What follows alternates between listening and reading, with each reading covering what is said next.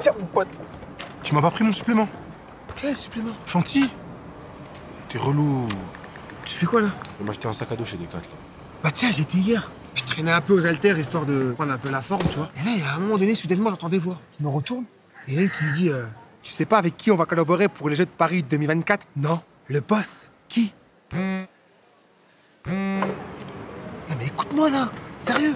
Elle a dit Teddy Riner, Le gars du judo là 10 fois champion du monde, 3 fois champion olympique. Et puis il a l'air trop gentil en plus. Mais qu'est-ce qu'on sait qu'il est gentil? Tu l'as déjà rencontré pour savoir? C'est pas lui qui va me ramener mon supplément chantilly. Eh, excusez-moi les gars, je crois qu'on a un problème, ils ont, ils ont échangé nos boissons. Ah, euh, euh tiens. Ah, merci.